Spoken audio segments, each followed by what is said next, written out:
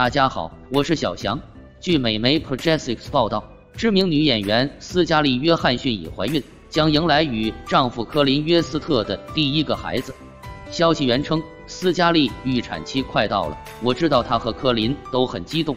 另一位知情人士补充道，斯嘉丽怀孕了，但她一直没公开，非常低调。斯嘉丽在六月份也缺席了电影《黑寡妇》的几场活动，因此引发了怀孕流言。消息源表示，他并没有为《黑寡妇》做太多的采访与宣传，这令人惊讶，因为这是漫威与迪士尼联合发行的大制作电影，他既是演员还是执行制片人。相反，斯嘉丽一直在线上进行宣传，在六月二十二日的肥伦秀中，镜头给的全是他肩膀以上的画面。二零一四年，斯嘉丽曾与未婚夫法国记者 Romain 生下了自己首个孩子，是个女孩，取名为 Rose。喜欢就点个订阅和赞，谢谢支持。